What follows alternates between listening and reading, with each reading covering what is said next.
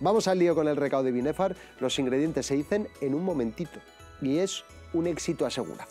Tenemos por aquí 400 gramos de alubias del año. Es muy importante que las alubias sean del año. Llevan 12 horas a remojo en agua con una cucharadita de bicarbonato. Luego explicamos el porqué. Además, también tenemos 100 gramos de arroz, una hoja de laurel, pimentón ahumado, una cayena, pondremos también una cabecita de ajos, una cebolla y dos patatas. Y aquí tenemos agua. ¿Es mineral? ¿Es agua de los fiordos noruegos? ¿Es agua del mar de Caspe? Ninguna de ellas. Es agua del grifo. No pasa absolutamente nada por cocer la legumbre con agua del grifo, aunque como en el caso de algunas de nuestras localidades, en Aragón, tengamos un agua bastante dura. ¿Por qué?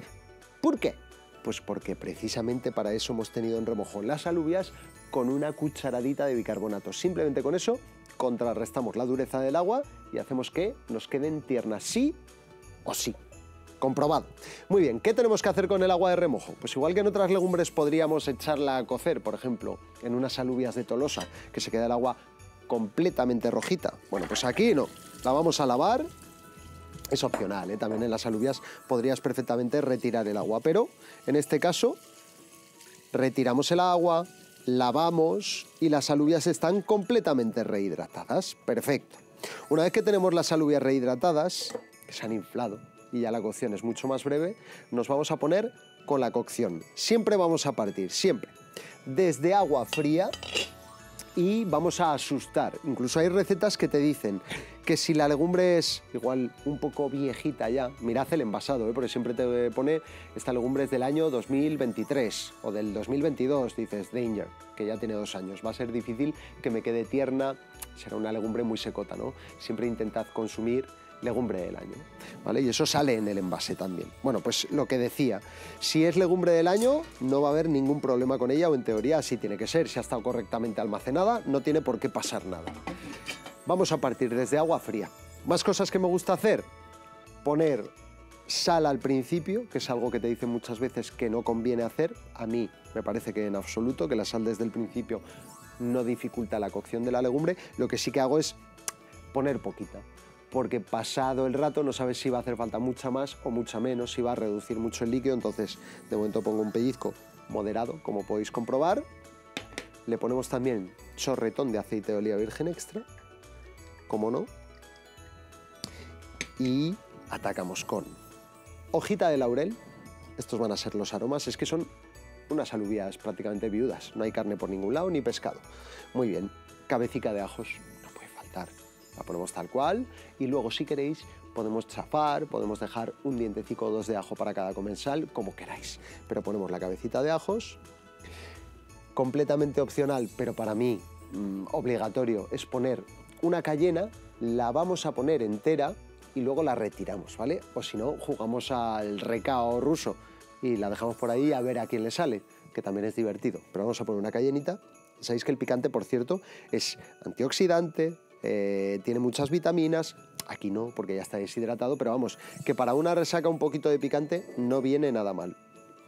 Ponemos el agua, no puede faltar, tiene que cubrir, y si vemos que se va evaporando y ya no cubre, tenemos que agregar más. Muy bien, y partimos desde agua fría, muy importante, siempre partimos desde agua fría.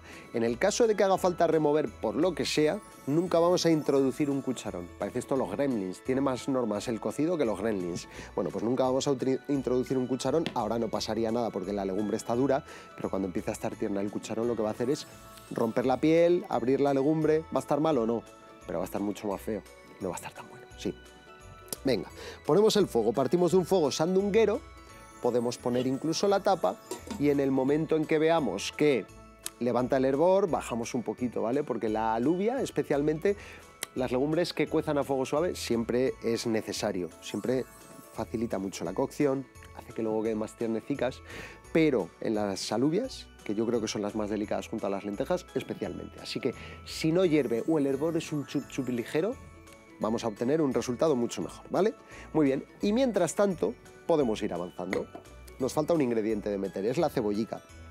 Ya sabéis, como en cualquier otra receta de este tipo, en cada casa se juega de una manera. De hecho, el recao, se le llama recao, voy a ir picando la cebollica, porque el recao se le llamaba un poco a la lista de la compra. Entonces el recao de Binefar era básicamente pues es una lista de la compra en la que había patata, alubias, cebolla y ajo. Y chispún, ya estaba hecho el recao. Y se le llama eso, recao de Binefar.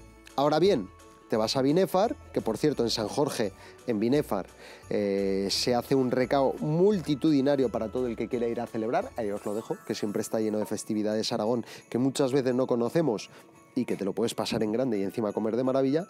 Bueno, pues eso, el recao de Binefar admite muchas variantes. De hecho, yo he probado algún recao hecho por alguien de Binefar que llevaba de todo, o sea que era casi como un cocido madrileño, que le faltaban ahí los vuelcos, estaba todo junto, eso sí. Pero el recao primigenio, el que nos dio a conocer, por lo menos publicó Teodoro Bardají, era esto.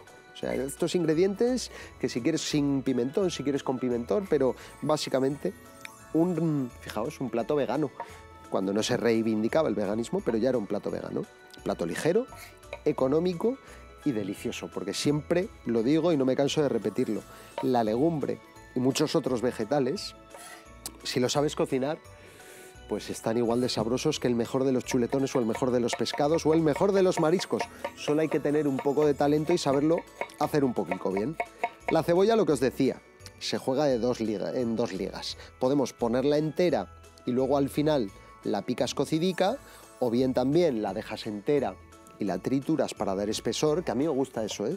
De hecho, nosotros le vamos a dar un poquito de espesor al recao, porque estos platos de legumbre a mí me gusta que el caldito quede cremoso. No sé a vosotros, pero a mí me gusta que quede cremosico. Entonces cogeremos un poquito de la patata, que también lleva patata, claro, y la trituraremos para darle cierto espesor, para trabar un poquito el caldo, que mola.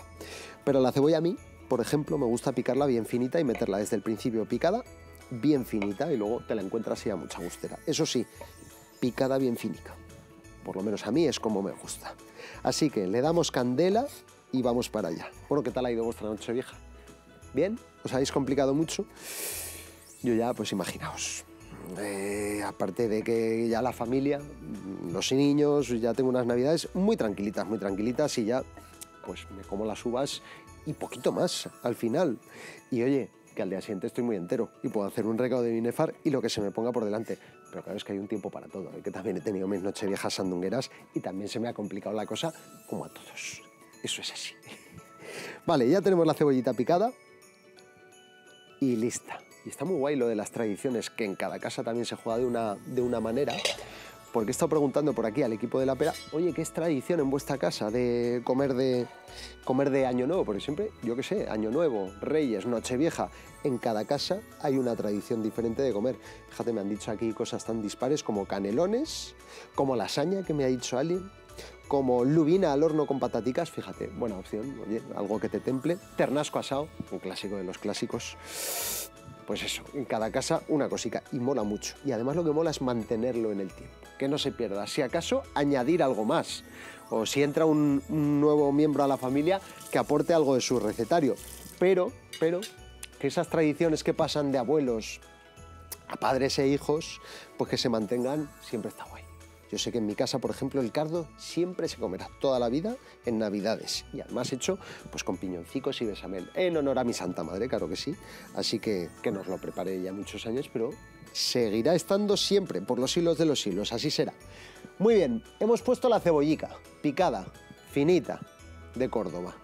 Y ahora, ¿veis que está un poco al trantán a punto de hervir? Bueno, pues vamos a dejar que hierva y cuando hierva lo asuste un poquito que no es más que cortarle la cocción un poco, y ya dejo que cueza, pues depende de la judía. Es que no hay una norma escrita.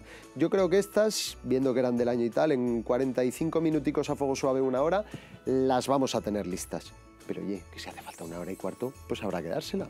Esto es así. Bueno, pues mirad cómo hierve, han pasado unos 5 minutitos, entonces lo que hacemos ahora es bajarle un poquito el hervor con agua fría la asustamos, que es así como se dice, y de esa manera retenemos el hervor un poquito más. Y toda esta espuma que veis por aquí, lo que se le llama el agua vegetativa de las alubias, y la vamos a retirar esta espumica, que no es que sea mala, ni mucho menos, pero por un tema ya puramente estético, retiramos toda esa espumica. Si podemos quitarla, mejor, mejor. Y de aquí podemos deducir por qué a la espumadera se le llama espumadera, porque sirve para esto para desespumar y no para sacar las croquetas. Madre mía, si soy tabarras, ¿cuántas veces habré dicho esto?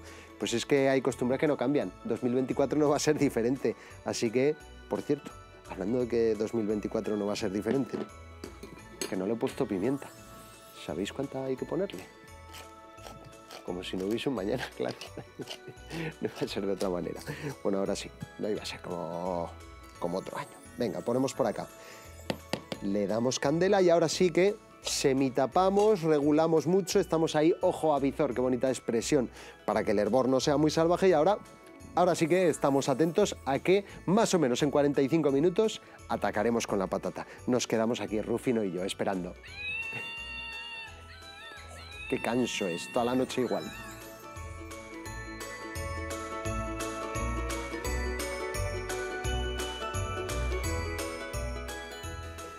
Bueno, las alubias les hemos ido agregando agua fría a medida que cocían y mirad, están ya casi casi hechas, un pelín tiesas, pero un pelín. De hecho a mí casi me gustan así, pero es el momento de agregar el siguiente ingrediente. Tenemos las patatas, que por cierto como son patatones le vamos a poner solo uno, ¿vale?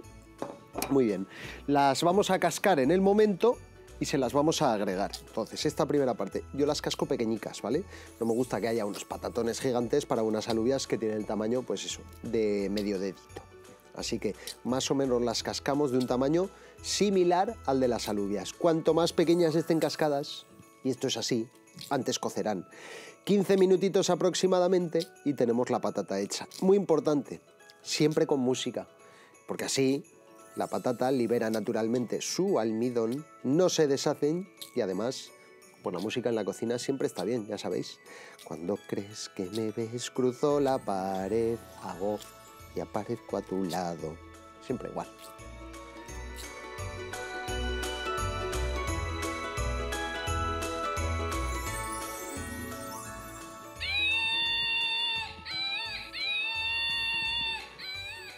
Rufino está nervioso porque se huele que ya a las judías le queda un poquito. Y efectivamente así es. Madre mía, que está ruidera para día así de resaca. Tela, tela, tela. Lo que vamos a hacer ahora, con la gafa empañada, solo una de ellas, eso sí, es... pero una gafa empañada por un recado de Binefar merece la pena. Es coger un poco de la patata que ya está cocida y un poquito de algunas judías. Vale, una patatica más. Ahí está. Y un poco del caldo también. Esto nos va a servir para integrar el pimentón, porque si no hay muchas veces que si lo echas ahora se queda algún pelotón de pimentón, ¿No conocéis ese término? Pues es el científico. Bueno, pues se queda por ahí y es muy difícil de disolver. Entonces lo que hacemos es esto. Cogemos la cucharadita de pimentón ahumado, se la agregamos por aquí a esto y con esto vamos a darle cuerpo, alegría a tu cuerpo Macarena y también vamos a darle espesor al guisote. Tengo aquí 100 gramos de arroz. Muy bien. Los ponemos y ahora este arrocico tiene que cocer unos 15 minutos más. Pues perfecto, porque en esos 15 minutos la patata ya va a estar tierna, tiernísima, las judías en su punto, el arroz perfecto, y el arroz es precisamente lo último que hay que echar. Y ya sabéis que si queréis hacer este plato de un día para otro, podéis hacer las judías y el último día le echáis las pataticas y el arroz y lo tenéis listo. Así que trituramos y terminamos.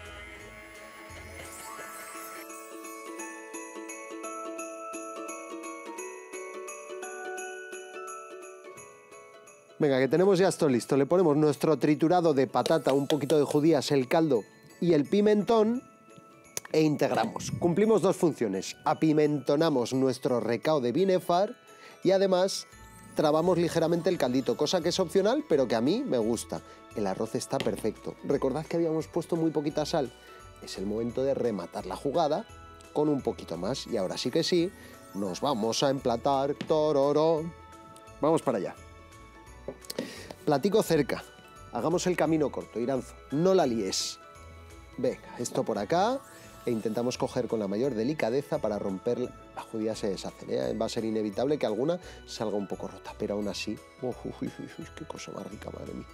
No se os está templando el cuerpo, simplemente de ver esto, de ver cómo fluyen las judías y el arrocico y la patata. Bien de caldito, muy bien, un poquito más de sólido, vamos así haciendo equilibrio. Perfecto, ahí está lo tenemos. El ajico, si queréis podemos coger un poquito, con mucho cuidadín, porque quema que no veas, vamos a apartar un poquito por aquí y a ver si puedo pescar un dientecico de ajo, que da mucha gustera, por lo menos para poner ahí y repartir. Cuchillo por acá, mira, mira, mira, mira, es que esto es una perlita, se deshace que para qué. Vamos a poner un dientecico de ajo por aquí y por supuesto, a mí hay legumbre y más si es viuda, el cuerpo me pide una piparra para acá. Y ahí lo tenemos que viva Teodoro Bardají y que viva la gastronomía aragonesa. Tenemos uno de los mejores cocidos que hay en España. No llevará morcilla, no llevará chorizo, ni falta que le hace. Recao de Binefar.